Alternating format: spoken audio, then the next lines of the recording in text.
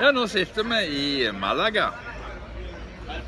Jeg har uh, sendt litt uh, iMessager i dag òg.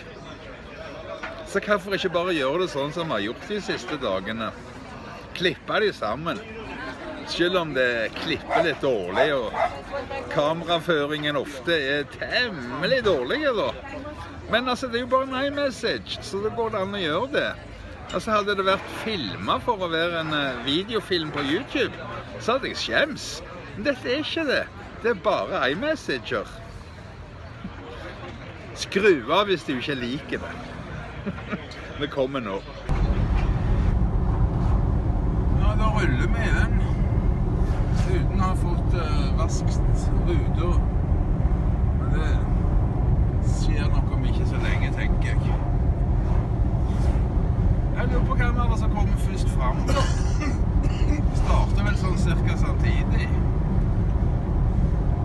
Starter med en kopp kaffe på Oliva i Paradis. Og nå har vi jo forlatt Paradis, da.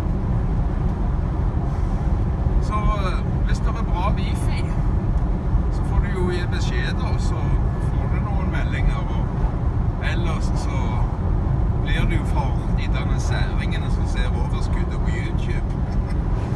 Og kan ikke ta for mye hensyn til de, vet du. Det er jo meldingene til deg som teller. Så få høre hvordan det ligger an på flyet. Om du, eh, om du får noe forbindelse. Får vel ta denne utsikten her eh, til og med med skjete vindu.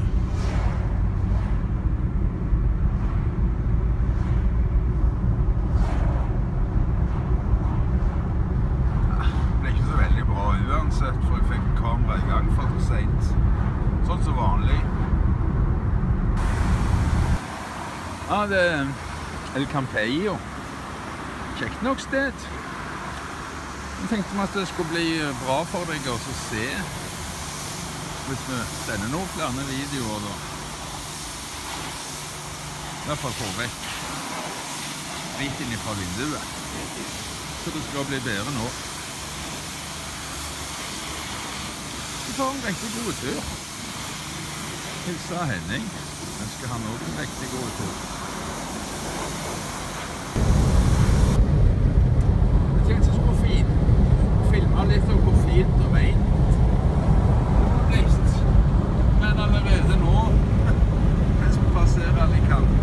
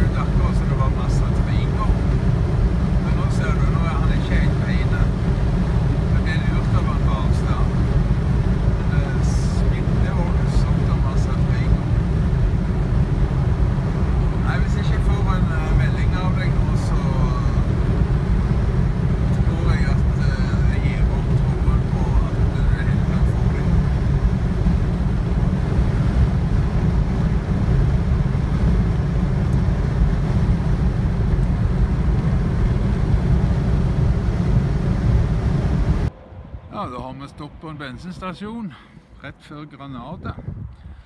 For å Ikke rett før, det er et lite stykke igjen til Granada, men litt før Granada for å pusse vinduene på bilen på nytt. Og så få litt mer kaffe. Så kan vi se litt på fjellene her. De er jo fine nok, de.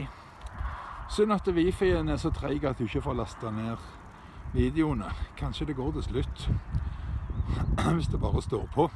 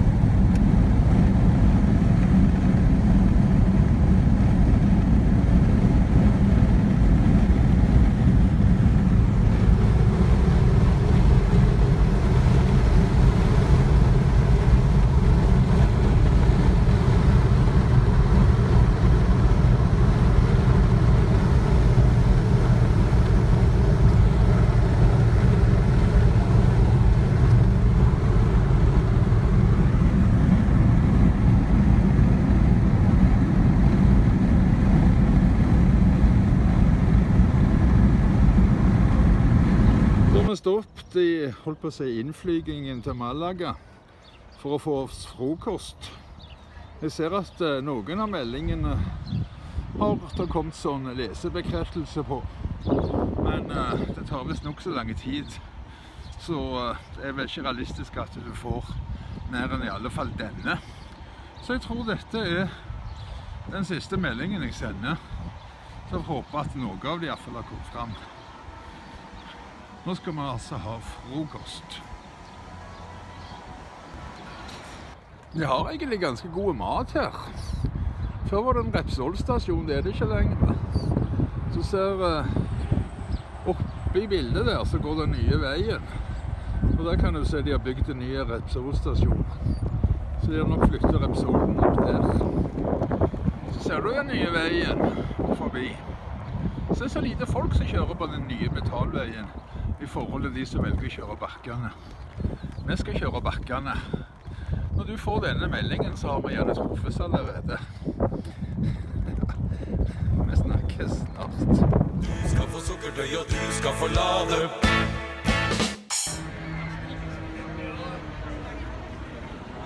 Ja, hola amigos på Facebook og YouTube.